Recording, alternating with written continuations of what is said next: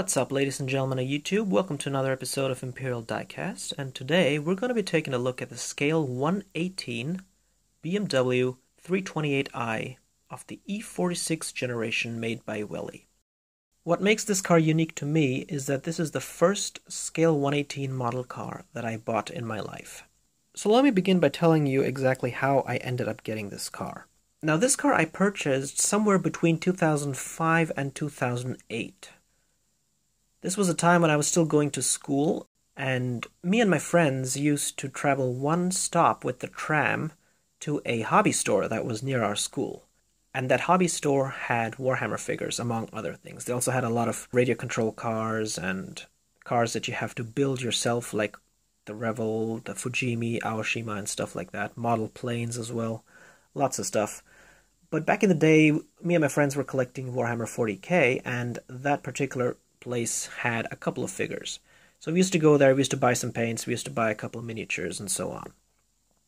Then they stopped selling Warhammer 40k. And so my friends moved to Games Workshop, which is somewhere else in my city. I personally then no longer had any reason to come to the store alone. But I still decided to come again after school one day, just to, you know, take a last look at the store and stuff like that.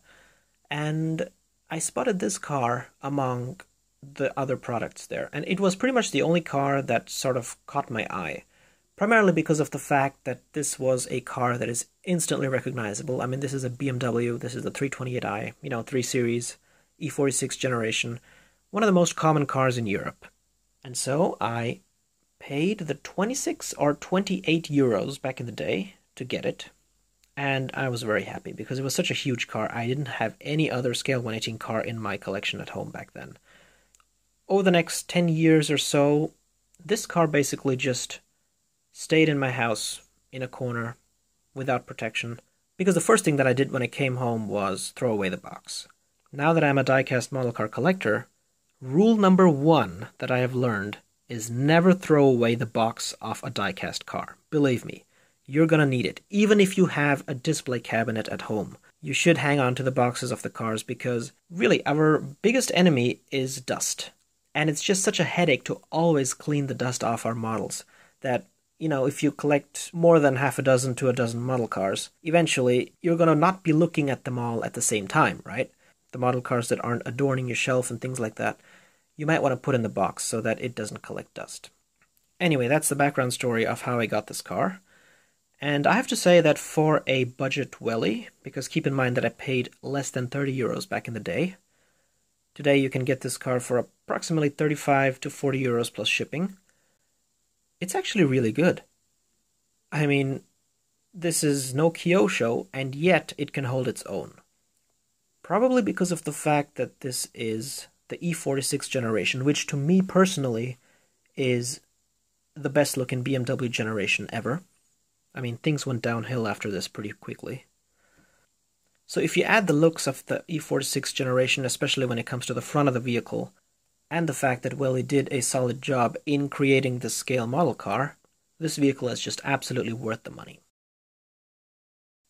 The BMW E46 is an entry level luxury car which was produced from 1998 to 2006 and was the fourth generation of the BMW 3 Series, which, apart from this four door sedan, Also included a two-door coupe, a two-door convertible, five-door touring estate wagon, and a three-door compact hatchback. A successor to the E36 styling, the E46 was replaced by the E90 from 2006 onward. This particular model, which is the pre-facelift BMW E46 328i, was sold between 1998 and 2000 and comes with a petrol engine which is a BMW M52 straight 6-cylinder with 190 horsepower and 0 to 100 km per hour acceleration in 7.2 seconds, which is actually not too bad for an entry-level four-door sedan. The reason why I like the E46 generation the most is simply because they didn't go overboard with the styling, and at the same time, it didn't have the retro look of the 1980s BMWs. Looking at the front of this vehicle, you can see that the headlights are done in pretty good detailing. I mean, you can see the individual bulbs, there are no pegs obscuring the bulbs, and the bulbs themselves are done in a pretty detailed fashion. Now, of course, the unfortunate thing about it is the fact that we have pegs on the blinkers, and they're quite large ones. But if you can get over this, I think the front of the vehicle looks very nice. We have a license plate that says WEL328, which I assume is for Welly. And then we have fog lights further down, but unfortunately they also have pegs. Here's a closer look at that iconic BMW grille. Although it doesn't go all the way through, I think it's done very nicely. Now moving further up, we have the BMW logo right here.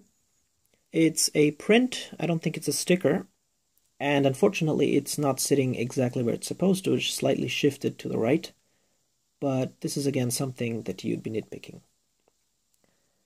The chrome itself is of okay quality. I mean, you can see that on the close-up here, it is starting to wear off.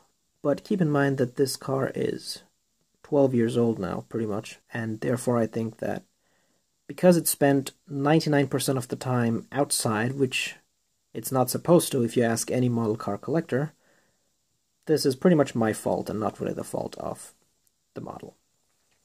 So as I said, the front of the vehicle looks very nice and is arguably the best part about the entire car. But this car has a lot of other cool things to offer as well. Here's a look at the car's side profile. And immediately the first thing you will be able to tell is the fact that it has four window panels, not just two. This is pretty cool for a budget die-cast car, having all four window panels made out of glass. There's no rear vent glass present, making the rear passenger windows look that much bigger. But before we move on to the glass panels, let's first take a look at the rims. Now here's the interesting part about the rims. When I bought the car, these were not colored in. Instead, they looked like this. The rims had unpainted BMW logos, so I decided to color these BMW logos myself, which is a little hard to do considering the fact that these logos are so small. I used the same paints that I use for my Warhammer figures, which is Citadel acrylic paints. I think it was Altdorf Guard Blue, White Scar, and Abaddon Black. I then thinned the black paint down with water to create a wash to make the individual lug nuts stand out better, which is a technique called shading. The car comes with brake discs, where the perforation is hinted at because it doesn't really go through, and unfortunately no brake calipers. And the brake discs move with the wheels. Keep in mind that this is an older Welly model. And now taking a look at the back of the vehicle, another disappointment unfortunately are four pegs, each one holding each of the taillights in place. Now you can see that they needed four because this taillight is actually split in half and therefore needs to be fastened at two different places. The exhaust is matte silver on the car, but I decided to paint it black using a Sharpie, and I think that it looks a lot better now. Looking at the rear license plate, you can see that it says WEL 328 as well here. And then we have the BMW logo on top of that, as you can see right there. And this time it sits well. And the 328i is a sticker. An interesting detail is this little circular indentation here, which is where you would lock the trunk. So that's pretty cool. Unfortunately, the trunk does not stay open.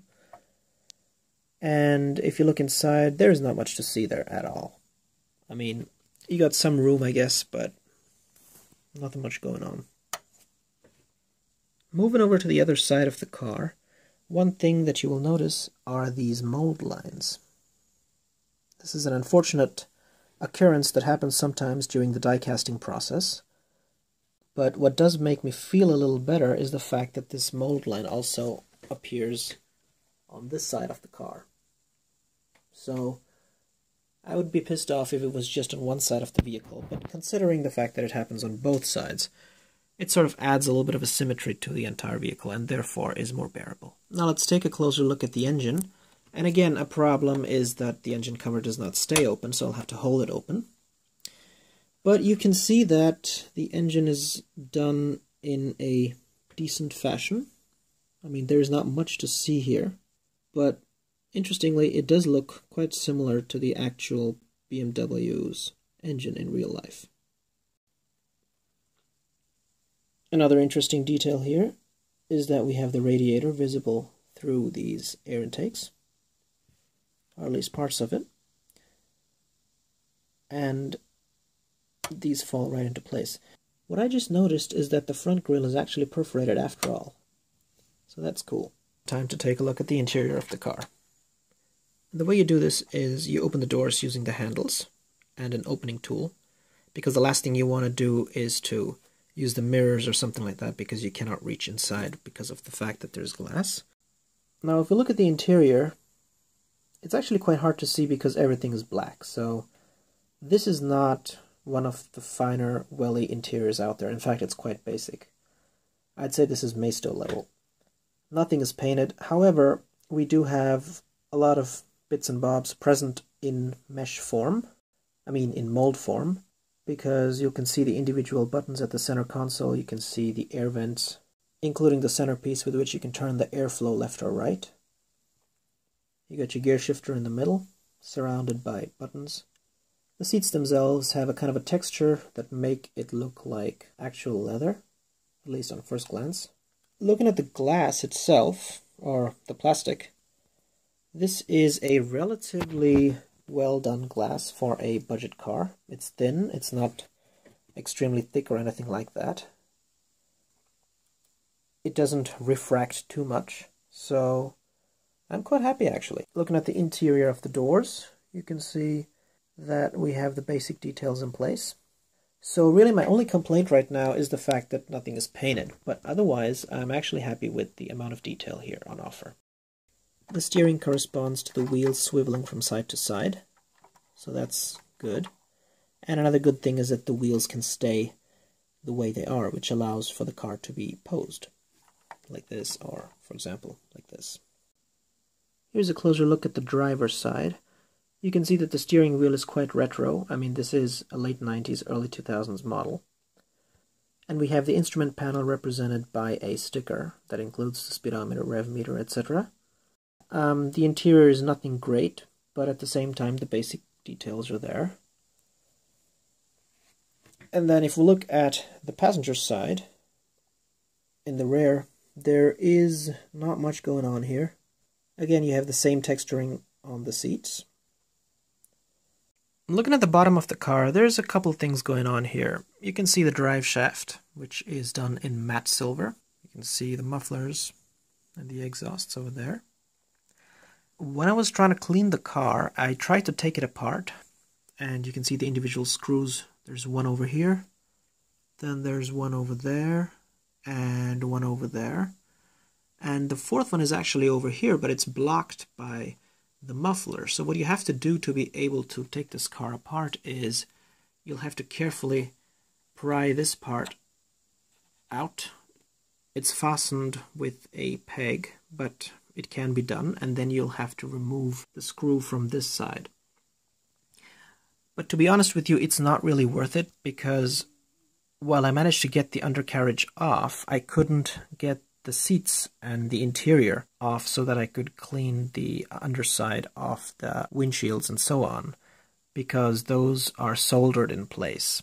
So therefore, it's not really worth taking this car apart. That being said, what else does it say here? It says Welly, made in China, scale 118, BMW 328i. We got a basic amount of detail here, but nothing else. Overall, I have to say that I'm quite happy with the shape this first Scale 118 model car of mine is in, considering that I bought it almost 12 years ago, and 99% of the time it was outside. I think Welly has done a good job on this, especially in the budget section.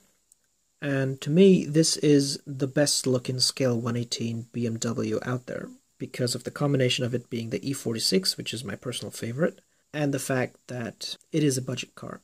If you want better quality than this, your next step is to go and buy a Kyosho, which starts at 80 euros and goes all the way up to, I think, 130 or even more than that.